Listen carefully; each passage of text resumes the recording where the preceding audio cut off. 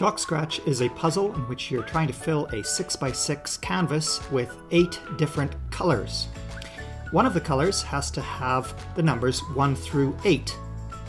One of the colors has to have the numbers 1 through 7, 1, 1 through 6, etc., all the way down to 1. So this one is this one works. And this one works for 1 through 6. And question, does this work for 1 through 7? No, of course not. You're missing the number 4, so that doesn't work. What about this for 1 through 4? Well, there's an additional rule, and that is that you are not ever allowed to complete a 2 by 2 region with just one color. Of so this is an all red 2 by 2 square. You're not allowed to do that, so that's wrong. Uh, what about this? Well, this isn't a scratch. And it's not a scratch because whenever you start, let's say you're starting at 5, 2, 3, at 3 you don't know where to go. Do you go to 1? Do you go to 4? You don't know.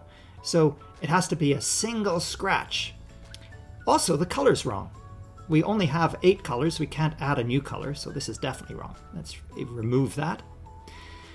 What about this? Yeah, this works, this little light blue region. It, uh, it's 1 to 2, so that works. What about this? No, this doesn't work because this region has got two threes. You can't duplicate any numbers in a region. What about this? Well, unfortunately, you've already got a 1 to 2 region, so uh, that's the light blue region, so you can't duplicate. So that's wrong. And that 1 at the bottom, that's correct. We definitely want a 1 there, but that leaves the 4 kind of lying there, not doing anything, so that's not good. Let's look at uh, correct solution. Here we go. So we know that that's correct. Now, take uh, 10 seconds and try to figure out if there's a number 1 through 7 region that you can find. Okay, let's see, and here's the answer. Right there. Okay, so that works. What about a 1 through 6 region? Can you find it? There we go, and that also is correct. What about a 1 through 5 region? There. 1 through 4. There. 1 through 3. There. 1 to 2.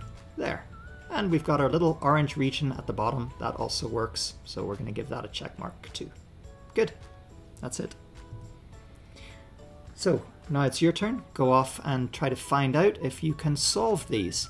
Uh, you can project this on uh, on your school whiteboard and then get kids to to color appropriately or you can just take this and copy it.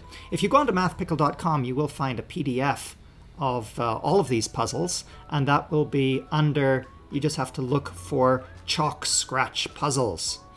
Okay, so there's a solution for that. Try this one. There's a solution. Try this one. There's a solution try this one. Now this one you see you've got um, the pink number 8 so you know for sure that that, that pink is going to be the big color with the numbers 1 through 8 in it. So that, that is the solution. This one is a bit harder. There it is. And this one here. And lastly this one. So again, you can go on to MathPickle and find all of these PDFs um, all, all, of these puzzles and they're in PDF form. You can photocopy those and give them to your class. And there you won't have the answers. so take care, enjoy. If you like Math Pickle, please find someone to help support me.